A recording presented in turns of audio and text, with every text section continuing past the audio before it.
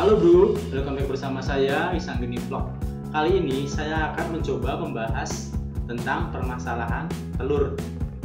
Jadi apa aja kandungannya telur yang dikonsumsi baik untuk kesehatan itu yang kuning atau yang putih, apa aja kandungannya. Berikut penjelasannya, semoga bermanfaat. Di mana ada telur kuning, itu ada putihnya. Meskipun keduanya memiliki manfaat yang berbeda, namun, secara utuh, telur adalah sumber protein lengkap berkualitas tinggi dengan hanya sedikit kalori. Satu butir telur memiliki 5,5 gram protein dalam 68 kalori keseluruhan. Lalu, bagian telur apa yang memiliki 0 kolesterol? Lalu, bagian mana lagi yang memiliki banyak vitamin? Jawabannya ada pada penjelasan setelah ini. Tabel kandungan telur, baik yang kuning maupun yang putih. Kalau dilihat dari tabel ini, diketahui bahwa putih telur memiliki kandungan protein yang lebih baik daripada kuning telur dan juga mengandung sedikit kadar lemak dan kolesterol. Namun, ada beberapa kandungan yang bermanfaat pula yang tidak dimiliki pada putih telur. Jadi, ada baiknya kita mengkonsumsi sedikit kuning telur dan lebih banyak putih telur.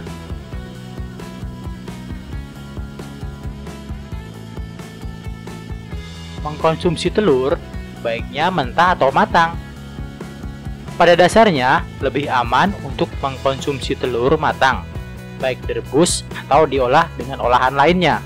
Dikarenakan, dengan mengkonsumsi telur yang sudah matang, kita bisa terhindar dari bakteri Salmonella. Bakteri ini bisa ditemukan di telur atau di kulit telur. Itulah sebabnya, pastikan Anda selalu memasak putih telur sampai matang untuk mengurangi resiko keracunan bakteri Salmonella ya.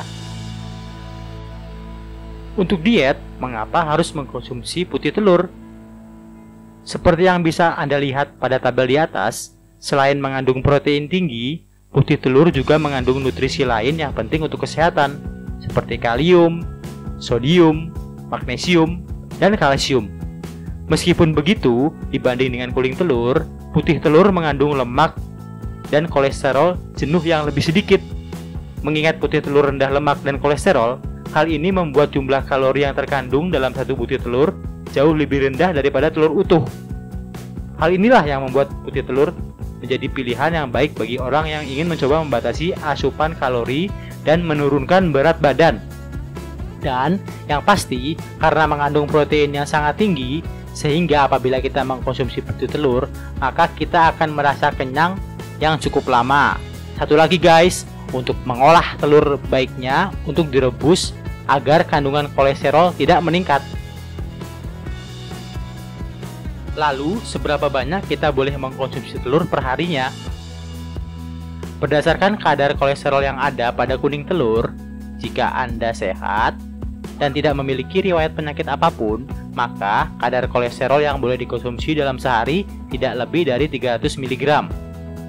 Namun, bila Anda mengalami diabetes, penyakit jantung, atau punya kadar kolesterol yang tinggi, maka Anda hanya diperbolehkan untuk mengkonsumsi kolesterol tidak lebih dari 200 mg per hari. Sebuah penelitian yang dilansir oleh Mayo Clinic menyebutkan bahwa makan telur sebanyak 7 butir per minggu tidak akan meningkatkan kadar kolesterol tubuh pada orang yang sehat. Dalam penelitian lain, disebutkan bahwa konsumsi 1 sampai 3 telur dalam sehari tidak membuat kadar kolesterol tubuh langsung naik. Namun sekali lagi, hal ini hanya pada orang yang sehat. Memang tidak ada patokan pasti berapa telur yang baik untuk dikonsumsi per hari. Namun, jika Anda penggemar telur, sebaiknya kurangi konsumsi bagian kuning telur. Makanlah bagian putihnya saja. Anda bisa memanfaatkan kuning telur sebagai campuran kue atau makanan lain. Sebagai contoh, apabila Anda mengkonsumsi 5 telur sehari, Anda dapat memakan 4 putih telurnya dan satu telur utuh bersama kuningnya. Kesimpulannya, apabila Anda mengkonsumsi telur, baik untuk diet ataupun untuk olahraga gym, baiknya mengkonsumsi kuning telur secukupnya saja. Namun, untuk putih telur bisa Anda konsumsi lebih banyak dikarenakan kandungan kolesterol pada kuning telur yang sangat tinggi. Demikian yang bisa saya sampaikan. Semoga bermanfaat. Sampai jumpa. See you.